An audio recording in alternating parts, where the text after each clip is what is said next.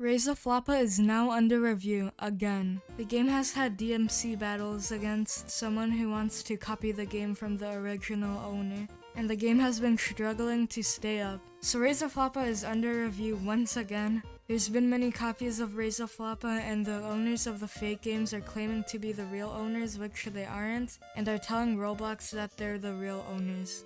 And instead of banning those fake games, Roblox decided to ban the real Raise a Floppa game. But recently, Roblox banned the other fake Raise a Floppa games, but they haven't unbanned the real one. The creator of Raise a Floppa made an announcement on Discord that he knows the game's down, and he's working to fix it. Also, this isn't really relevant to Raise a Floppa being down, but I found a game called Floppa Hangout, which is basically where you can just hang out as Floppa.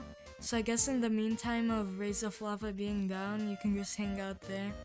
Raise a Floppa will probably be back up soon.